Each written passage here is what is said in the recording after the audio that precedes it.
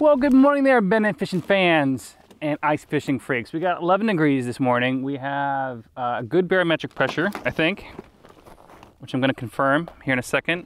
I don't know where my my thing went to. Anyways, we're looking for a spot on the spot, and we're going to go try to find it right now.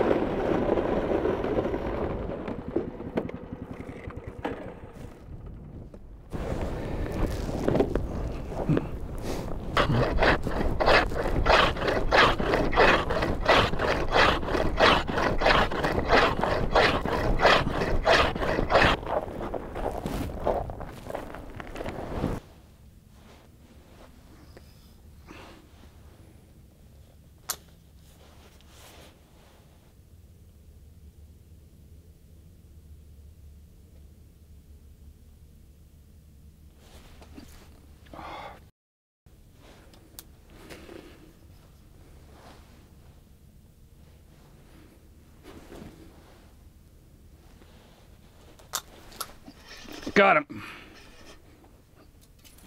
Got him, got him, got him, guys. Got him on camera too. It's not recording though, but there's more than one.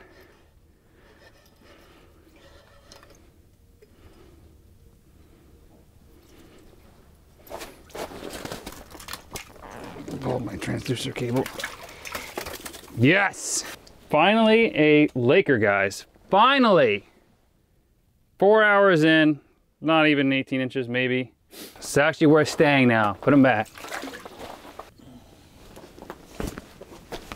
Come on, fishy, fishy, fishy.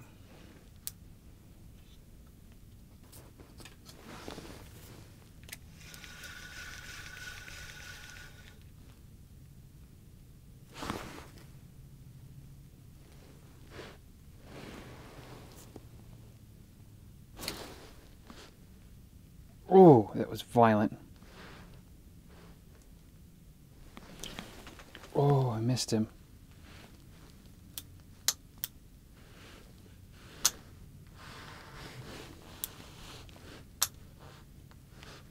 Come on, eat it.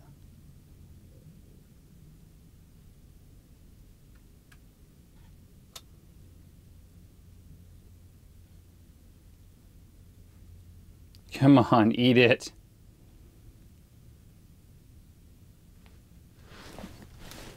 Oh! You guys see that? They spit that out so flippin' fast.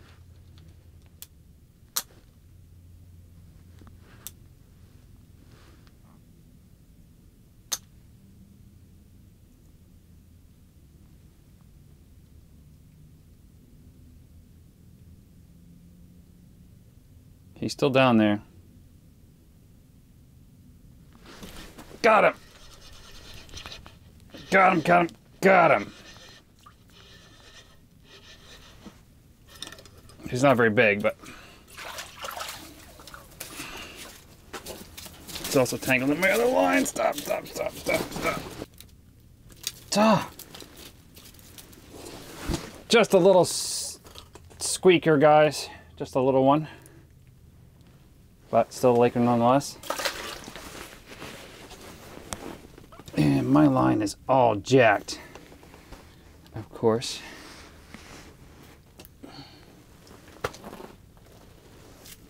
I think I just I just cut off my rattle trap.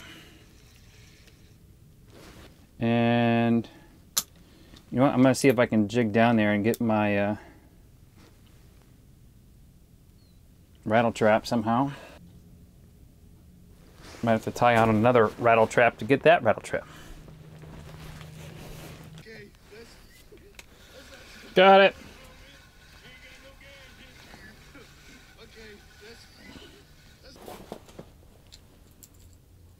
All right, I haven't seen a fish in a while, guys. I'm gonna pound this on bottom for like another 10 minutes and then I'm gonna go bounce around a little bit.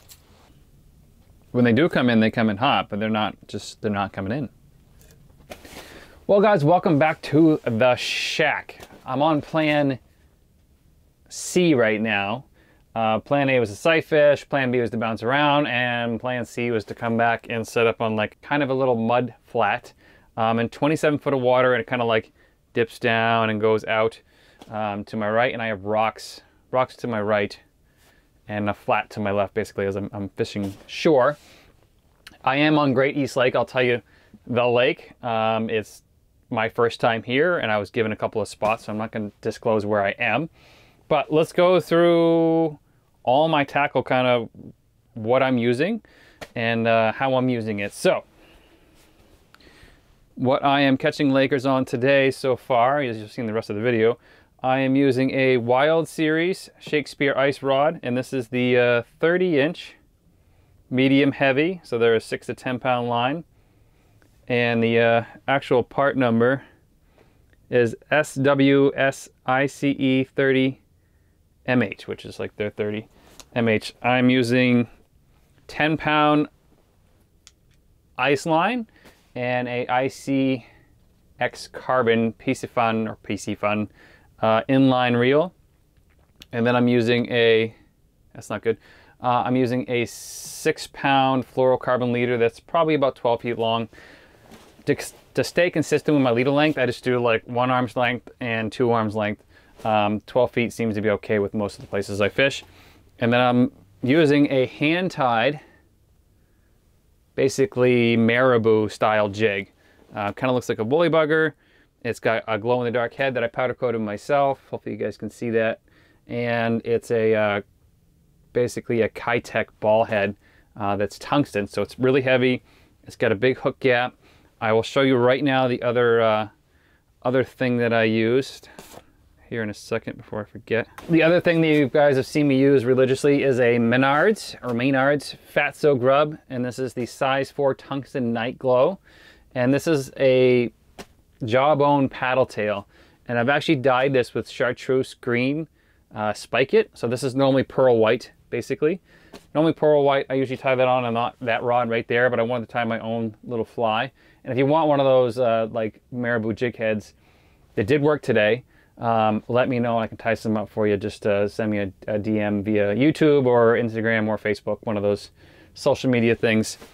Uh, I'm using the Humminbird Helix. Uh, this is the size the 10 and let me take you off the tripod for that. So that's the Humminbird Helix 10. So that allows me to see fish coming in um, wider than the Humming, uh, the Aqua-Vu HD7i Pro is doing. So that's going to be hard to focus on that screen, but uh, since it's so bright. But that's what I'm using to basically get the hook sets because they are flying in 100 miles an hour and hammering it. Uh, I've only, yeah, they're just flying in really fast. And I've hooked one, missed one, and hooked a couple other ones. Got the Mr. Buddy heater, and I'm in the Eskimo 949. I got the GoPro there facing me, of course. And uh, while we're at it, while we're talking about gear and stuff, um, I use Seaguar Blue Label fluorocarbon leader. Uh, you probably don't have to with some of the Lakers. This is a, a pretty pretty clear lake. So is Winni. Um, I use a Palomar knot for almost, actually all of my knots. And then I use a double uni knot for my braid to my leader um, all the time. And it's the only knot that I trust. And then I tie the Palomar knot to the to the hook. It's a it's a harder knot with these smaller hooks, but it is a knot that you can tie really crappy and it'll be really still strong. So that's one of the reasons I use it.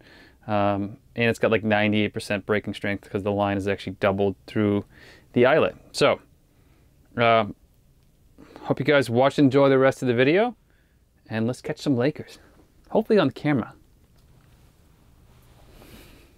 And make sure you wet your knots. And I haven't seen any fish here in a little while. So I'm gonna probably not pack up completely. I'm gonna leave my shack and stuff here and I'm gonna go venture around on some deeper spots. Oh, there's a fish down there. Oh, there's a fish down there right now. Of course, as soon as I say something.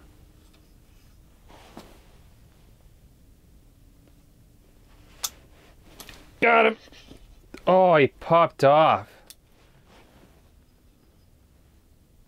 That was epic. These fish are coming in like one or two at a time. Think I'm uh, wussing out in the hook sets. It's been a long day, guys, like really long day. And just to let you know, this is my fourth time out for Lakers. Um, first time actually hooking and catching them. So I am human. I don't I don't produce the days that I don't catch fish, or at least I try not to. But it's been a struggle. Super struggle. Just as I was saying I was gonna move, fish come in. Always happens. And uh, to stay hydrated, I drink uh, BodyArmor stuff and granola bars. And as always, I'll leave the link for everything that I use below. I know you guys love to to buy stuff. Just just an ice fisherman thing, I guess. One of the best parts about ice fisherman ice fishing is the gear. Gotta have gear to stay comfortable and warm. We'll give this 10 more minutes. And then we'll bounce.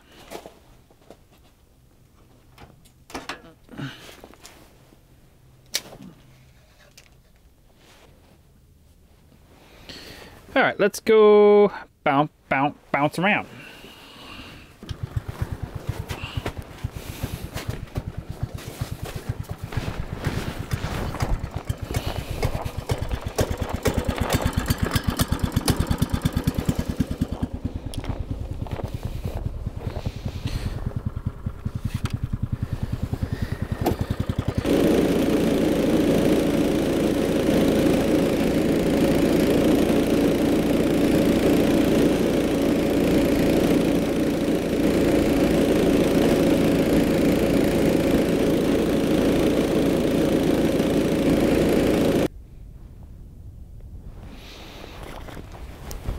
Oh, I got one on me.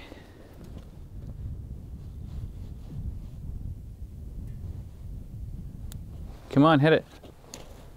You silly goose.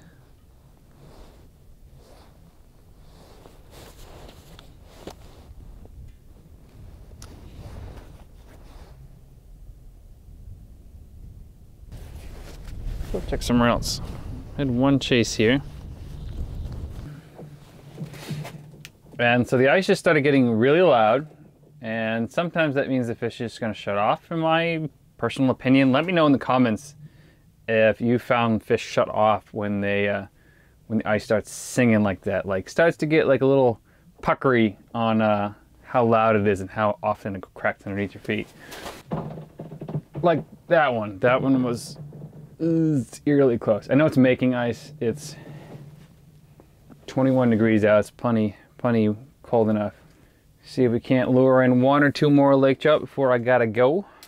All right, guys, the ice is super loud and I haven't seen any fish in at least a half an hour, probably more than that. So, thank you very much for watching. I'm gonna get at it again tomorrow, probably a different lake, try to figure out that lake as well, and try to catch as many lakers in the state of New Hampshire as possible. So, Make sure you guys subscribe, like, thumbs up, hit the bell notification, leave a comment below. That's like the biggest thing. Leave a comment.